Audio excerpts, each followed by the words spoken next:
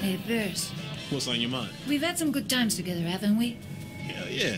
Singing, shooting, running the country. Want to add casual sex to that list? I normally don't swing that way, but fuck it, I'm down.